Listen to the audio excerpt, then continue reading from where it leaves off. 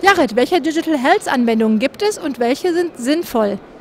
Also geben tut es natürlich sehr, sehr viel. Das ist natürlich bedingt auch durch, dass wir viele jetzt Themen haben, die aus der Technologie in die Medizintechnik oder in die Gesundheitswirtschaft hineinkommen. Sehr, sehr breites Feld.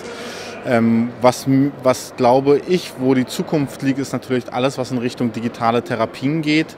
Also alles, wo die Software an sich wirkt wie, eine, wie ein Medikament. Ich glaube, das ist ein sehr, sehr interessantes Feld, vor allem für europäische äh, Unternehmen. Und das Zweite ist, ähm, ich glaube an automatische Datenerfassung.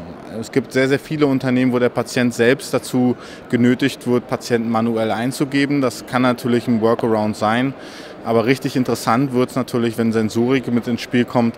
Das heißt, wenn Daten automatisiert erfasst und analysiert werden und daraus Therapie- und Diagnoseempfehlungen in Richtung Patienten generiert werden können.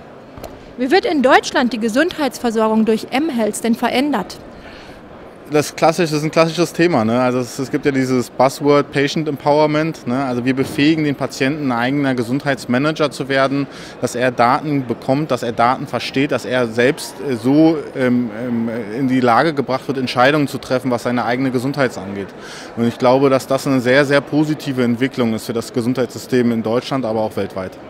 Welche gesundheitsökonomischen Potenziale bringen solche Anwendungen denn mit sich?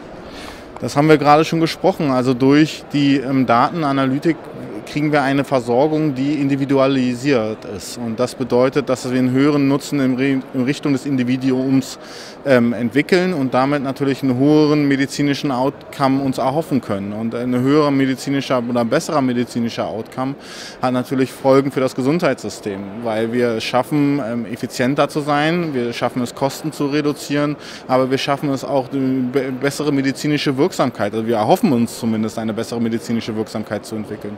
Und das bedeutet, die, hoffentlich die Patienten sind früher gesund, länger, leben länger, können länger arbeiten. Das sind natürlich alles Faktoren, die einen positiven Gesundheitswirtschaft, äh, gesundheitsökonomischen Effekt haben werden.